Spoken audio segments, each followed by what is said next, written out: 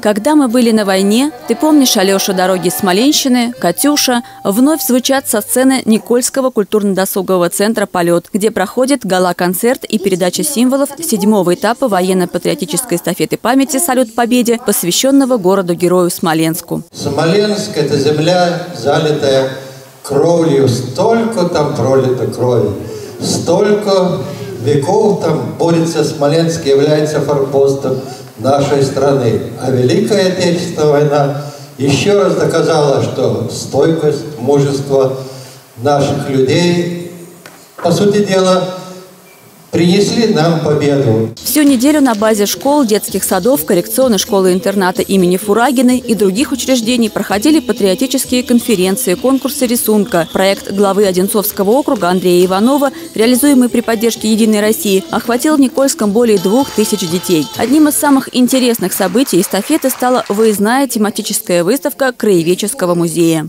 Мы э, привозили сюда выставку патриотической рисунка, патриотического плаката и, соответственно, там была лекция, в общем, рассказ о Смоленщине, в общем, о битве, о щите, который принял на себя основной удар, один из основных ударов и удержал на два месяца. Вот эти такой переломный момент, где мы смогли переформировать, э, в общем-то, дивизии, подготовиться к дальнейшей победе.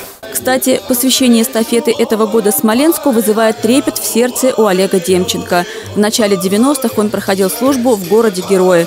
Видел места кровопролитных боев Великой Отечественной. Мне лично, как человеку, в общем-то, не безразлично эта история. Она не где-то в стране, она рядом со мной. И, в общем-то, я непосредственно был на Э, вот этих передовых позициях, где война проходила. После концерта и традиционной минуты молчания самая торжественная часть – передача символов эстафеты памяти, знамени победы, клятвы партизана и боевые гранаты РПГ-40. Они отправляются в лесной городок, где уже готовы к принятию эстафеты. На нашей территории подготовлены также мероприятия, посвященные обороне под Смоленском. Во всех э, детских садах, школах, ДК, библиотеках будут проходить выставки, также э, организационные мероприятия, которые будут посвящены этой битве. Наталья Гончарова, Артем Ломоносов, телекомпания «Одинцова».